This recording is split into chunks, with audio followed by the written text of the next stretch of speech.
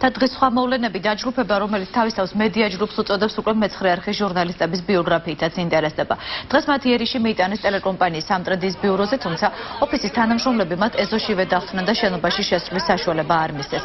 გაურკვეველმა დაჯგუფებამ მეცხრე არხის თანამშრომელთა ერთგვარი დაკითხვა პირდაპირ ქუჩაში დაიწყო, რასაც თან ორი ტელეკამერით იღებდნენ. მათი კითხვები ასეთი შინაარსის იყო: ასრულებთ თუ არა ქართული ოცნებისა და სამტრედის ქართული ოცნების შტაბის ხელმძღვანელის მურმან ჭაშიას დაკვეთებს. რატომ არ მოყვა მეცხრე არხის თანამშრომლების რეაგირება თავისუფალი მედია ჯგუფის წევრებზე ქუშინ ქუთაისში მომხდარ თავდასხმას? დაკითხვის შემდეგ დაჯგუფების ხუთმა წევრმა მეცხრე არხის თანამშრომლების დევნა ავტომობილით გააგრძელა.